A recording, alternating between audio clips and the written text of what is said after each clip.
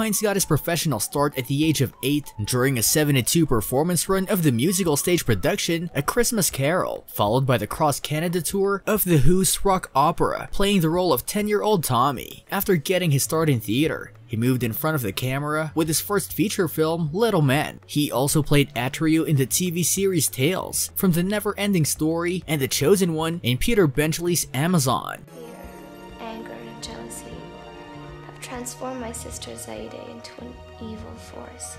Dark Princess is your sister. Yes. He was also in Disney's The Other Me and Terrorized by Teens, the Jonathan Wamback story. Over the years, the Canadian filmmaker has managed to find his way back to the Hallmark Channel. He starred in his first holiday-themed movie for the network in 2018's It's Christmas Eve and has never looked back. No. Yeah. You're The interim school superintendent.